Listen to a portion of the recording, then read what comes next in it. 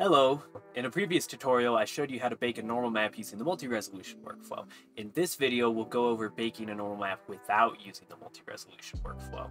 For this method, we need two things. We need a high poly mesh and we need a low poly mesh to bake down to. In our UV editor window, which you can access at the top there, we are just going to define some seams for the model real quick that's a combination of Alt Shift Click and Shift Click to select different loops, and uh, then U and clicking on Mark Seams. And then when you're ready to unwrap, you press U and you can unwrap by angle. And we'll also do one down the bottom here. There we go. So we've got almost the entirety of our map filled over here on the left, which means when we're putting an image texture on this, we're going to be getting a, a really good ratio of detail to file size. So now over in the shading tab, you're going to drag out from your normal socket and type in normal map. And you want to make sure that it's normal map, not that you're getting the normal on a bump map or something. And then from the color, you want to drag out an image texture color. And then you can click on new. We're going to call this uh, crown tutorial, tutorial normal 2 because I am refilming. And I'm going to make this, uh, I'm going to make this actually pretty small because I'm doing this for a tutorial and it takes a long time to save and bake if it's bigger. But we're just gonna save that. And then over in our render tab, we wanna make sure that we're in cycles. And then we're gonna go down to our bake area here and it'll be on combined by default, but we're gonna change it to normal. Definitely gonna wanna do selected to active and uh, you almost always want to have cage selected for this as well. But the cage extrusion and max ray distance matter a lot in terms of the scale of the model determines what you need those to be. So your model being a different size and scale and you know having different outcroppings and whatnots compared to mine means that it's going to have to be different it might be a good idea to inflate your model slightly first so it surrounds the entirety of the high poly mesh you're baking. And a lot of times this will get you a little bit of a cleaner result. Before you bake any textures in Blender, you have to make sure that they're actually not selected. And we're gonna make sure that we have our high poly crown selected as well as our uh, low poly here, but we wanna make sure that the low poly is the actual active selection. And before you click on bake, make sure that your render settings, your max samples are one and your denoise is off. When you're baking normal maps, it's not using rays in the normal way. So if you have a whole bunch of samples, then it just takes longer, but it doesn't actually increase quality at all. And let's just click on bake. And let's see. Okay, that's that's looking pretty good. Um, there's a couple of little flaws in here that you can see. This is what we'd call an inverted area. And basically what that means is the ray went like a little bit too far and it got the geometry that was behind it. And that's not the biggest deal. Uh, I mean, it is kind of a big deal that it's gonna look like shit when you uh, actually, that part of the area is gonna look funky, but fixing it's not a very big deal. Uh, but first, let's just bring this into our texture slot and see how it did. You're gonna notice immediately that we have these really bad, ugly seams. And what's going on there is we have to come over here and press Alt S to save the image once we've clicked on the image area there. And we're just gonna save as image. And now we can change the color space to non-color and that'll make it show up properly.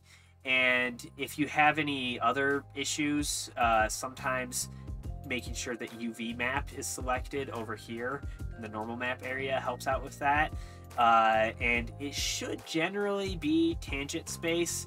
If you baked your normal map in Blender, it should be tangent space, and that should work.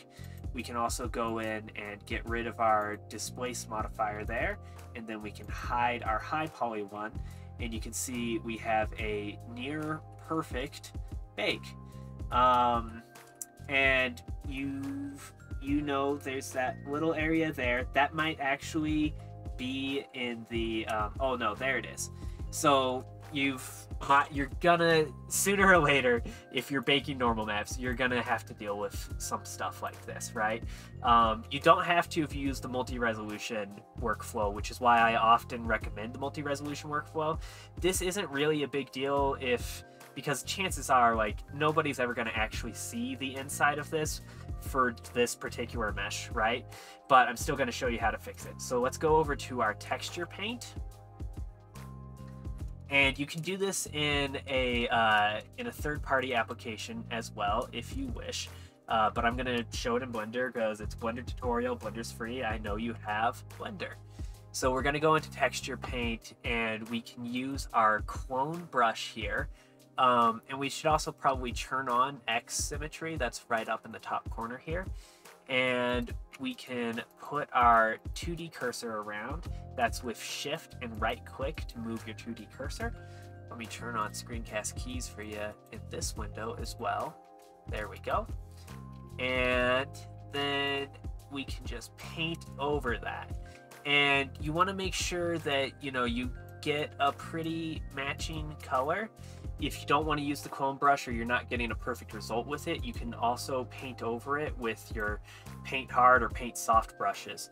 But uh, something you need to know for that is in your shading tab, you're going to want to change the color space back to sRGB first. Otherwise, you won't be able to use your color picker to actually get a proper color picked. Um, I don't really know why but it's something that happens, and now you know.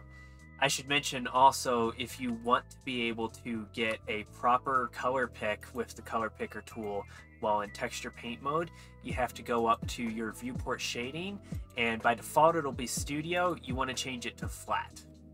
But you can see that's looking okay. And you can also see that the way this kind of baked originally isn't even necessarily perfect, right? So we can turn off our symmetry here and we can color pick over here and get something more matching on this side. And if you're ever wondering what this is called, uh, this would be manually fixing your normal maps. And you know, 3D software is a lot better than it used to be. You don't have to do this kind of stuff a lot anymore but it's really good to know how still. So make sure you save your image again after you've done your texture painting. Uh, or when you go back to the shading tab and you change your color space back to non-color, it will delete the changes you just made and you're going to have to do them again. But once we're back in non-color, you can see there's there's a little bit of artifacting there. Um, if you go into Photoshop and you just select those inverted areas, press Control I to invert them, it works like really, really well, better than painting it out manually. But yeah, there you go. Uh, this is now a game ready asset, right? If you look at the statistics, the high poly version was over 2 million polys, and we have it down to 676 triangles, 338 faces. Like it's it's a massive massive improvement and there you go. That's how you normal map with the normal normal map uh, workflow instead of the multi-resolution workflow. Thank you very much for watching the video. If you enjoyed it, like, comment, and subscribe. And if you didn't enjoy it, like, comment, and subscribe. And yeah, uh, I, I'll see you next time. I hope you have a beautiful day and all your dreams come true.